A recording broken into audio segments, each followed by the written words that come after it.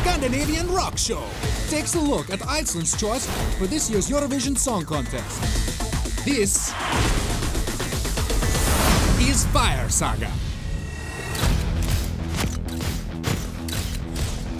We are Fire Saga. We are a very popular band in Iceland, started by myself, Lars Erickssong, and uh, Sigrit Ericksdottir.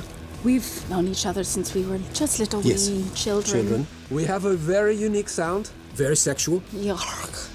But Fire Saga was not our first name. Do you remember what the first name of our band was? Yes, Red Hot Chili Peppers. Red Hot Chili But Peppers. Someone That's stole it. We said, well, we like red, we like hot. What's red and hot? That led to Fire Saga.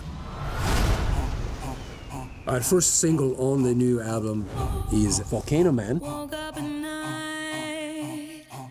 I heard floating cold. It's all about a man who is protector of the land. Absolutely. And he lives in a volcano. And he needs love. He needs love. Even though he's tough, he still needs his ice lady. Yes, I think it's going to really turn some heads.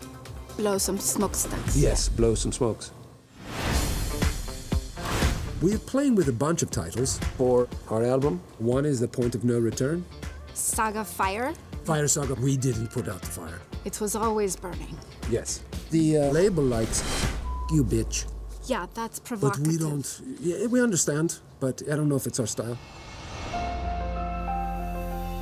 We just can't wait to make Iceland so proud. We want people to know that we are artists, number one. We're not just some shit party band. That's why competing at Eurovision is so important for us. It's a song contest that brings countries together with music and harmony and There's a lot of hot dogs, great food. At the end of the day, it is a competition and you're looking to crush your opponent. and share your music too. Yes, And share, your music, of course. with- I would just say one thing. If you view sharing and winning as two different children, and you only had money for one of them to go to college, you would send winning. And um, sharing, you would still check in with sharing. You'd call them, oh, sharing, how are you doing? Did you hear about winning? Winning's going to be a doctor. No, I know, sharing, no, I like you too. But, you know, you just, you can't have a favorite. If we win Eurovision, the world will become our oyster. I mean, you name it. Free footwear. dinners. A campaign with a major beverage company like Schweppes. We would only do a campaign with Schweppes. I think it's so elegant, and you know, all the super cool music people drink Schweppes. Look what I have here. Ah. Have one too. Oh.